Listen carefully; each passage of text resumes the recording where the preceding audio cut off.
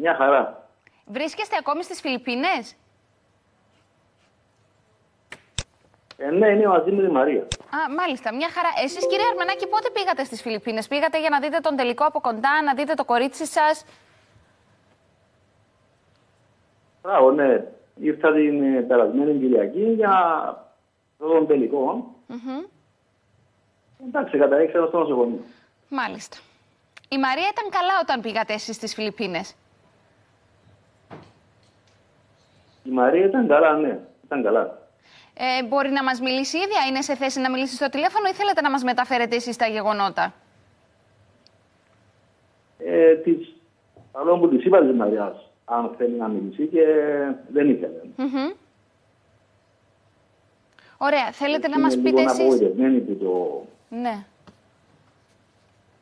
Εντάξει, βέβαια, κύριε Αρμενάκη, για- σίγουρα είναι λογικό, έτσι αν μας ακούει τώρα και η Μαρία, είναι λογικό να έχει απογοητευτεί, αλλά φυσικά δεν είναι και το τέλος του κόσμου. Θα μπορούσε οτιδήποτε πολύ χειρότερο να έχει συμβεί, οπότε Ναι, ναι, ναι. ας απολαύσει την εμπειρία που είχε αυτόν Σιγά. τον ένα μήνα και δεν πειράζει που το φινάλε ήταν κάπως διαφορετικό. Ούτως ή αλλιώς η ζωή μας είναι τόσο απρόβλεπτη, που μακάρι να είναι πάντα μόνο αυτές οι ανατροπές που έχουμε όλοι στη ζωή μας.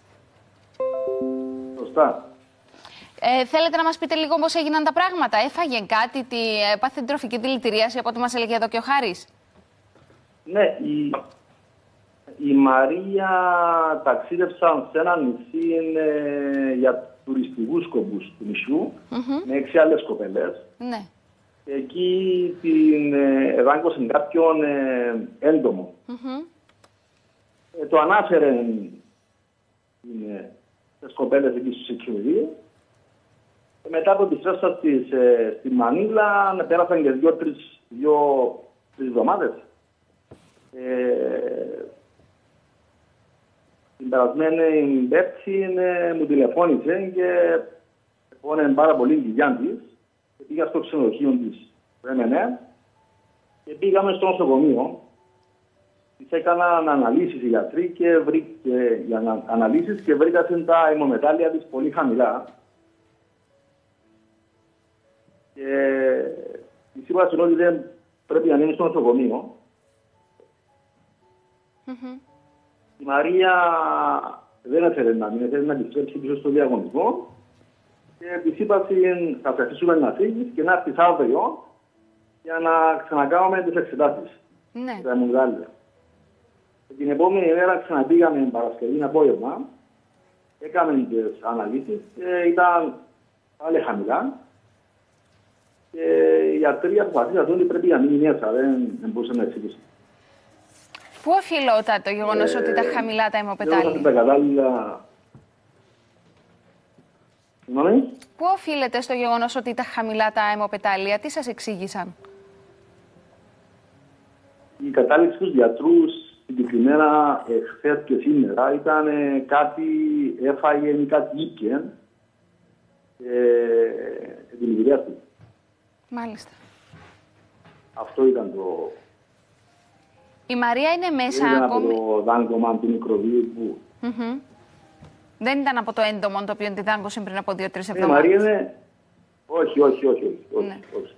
Είναι... Απλώς εφοβούντουσαν επειδή πήγε σε εκείνον το νησί και πάρα πολλές περιπτώσεις σε αυτόν το νησί τυχαίνει αυτά τα δαγκώματα.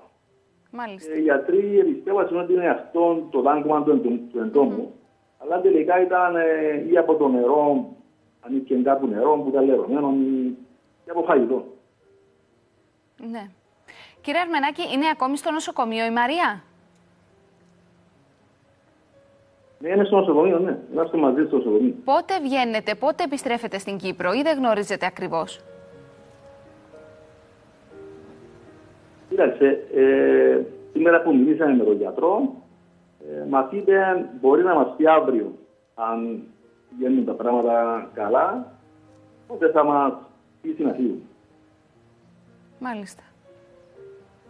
Άρα φαντάζομαι ότι και για εσάς ήταν ένα ταξίδι το οποίο ήταν προγραμματισμένο. Προγραμματίσατε κι εσείς τις δικές σας υποχρεώσεις και μείνατε μαζί στις Φιλιππίνες αυτή τη στιγμή, έτσι; Ανατροπή Είναι τελείως. οπωσδήποτε, ναι.